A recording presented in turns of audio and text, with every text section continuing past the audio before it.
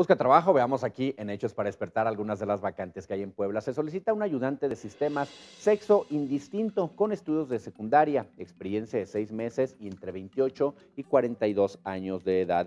También están solicitando un electromecánico automotriz. Sexo masculino le piden estudios en la carrera técnica automotriz. La experiencia no es necesaria que tenga de 25 a 45 años de edad.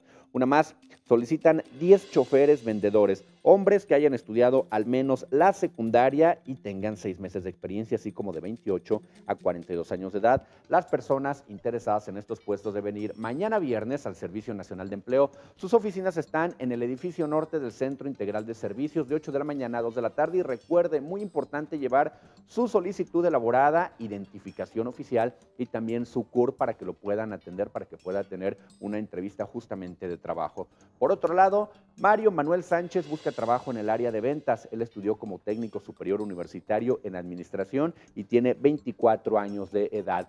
Y Sonia Hernández González busca trabajo como administrativo. Ella estudió administración de empresas, cuenta con 37 años de edad.